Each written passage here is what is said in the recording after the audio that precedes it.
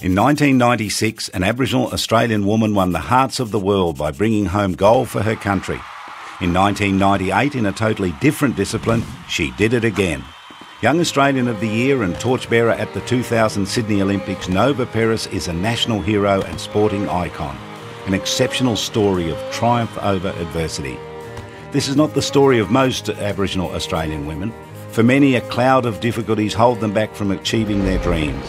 Family trauma, few positive role models, and negative community attitudes and pressures all contribute to a lack of faith in life's possibilities, non attendance at school, and poor life choices. In a country where 80% of the young people finish school, only four out of every 10 Aboriginal Australian girls will complete their high school education. The result? A wide gap in learning, life expectancy, and achievement at a huge cost to Australian society. How can we close this gap?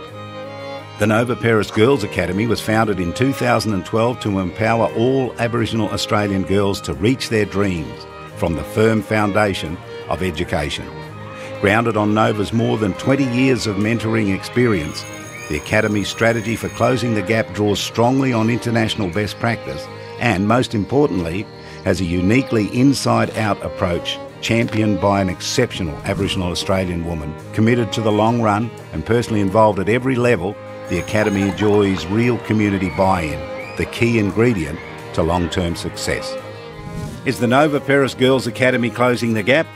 Yes, by equipping and supporting Aboriginal Australian girls with a safe and nurturing environment, accommodating facilities with cultural relevance, in class support, one on one mentoring, homework tutoring, sports programs with local competitions, breakfast, a supplementary life excellence curriculum, health and fitness programs, rewards based incentives, cultural specific camps, community volunteering and integration, and entrepreneurial programs.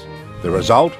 Young women increasingly engaged in their education and empowered to face key life decisions. In 1996, Nova Peris showed the world what one exceptional woman can achieve.